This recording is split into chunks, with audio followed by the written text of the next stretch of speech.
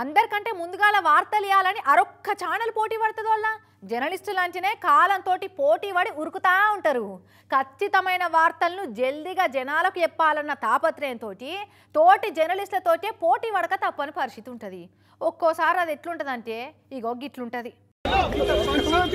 ये वीडियो बना दो और आपको मैं दिखाता हूँ कि इधर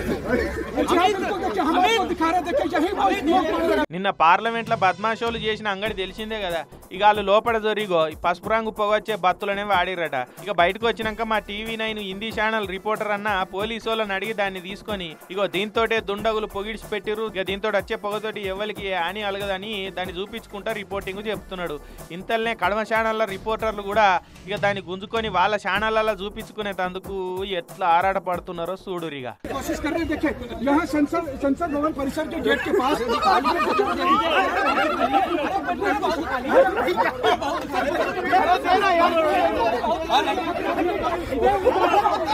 ఇక బెల్లం చుట్టూ ఈగలు ముసిరినట్టే ముసిరిరు కరెంటు బుగ్గ చుట్టూ లైట్ పురుగు తిరిగినట్టే. టీవీ నైన్ హిందీ రిపోర్టర్ అన్న తాన ఆరిపోయిన ఆ పొగబత్తి గుంజుకునేటందుకు ఇక చూడురి ఎట్లా తిరుగుతున్నారో.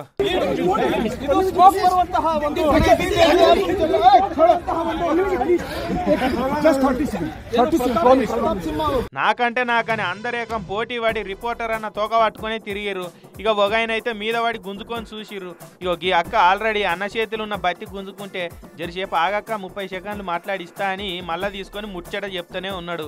ఇక ఇంతల్ని ఇంకో హిందీ ఛానల్ రిపోర్టర్ అన్న ఉరికొచ్చి యాదగిరి గుట్టకాడ అట్టిపండు ఎత్తుకపోయినట్టే.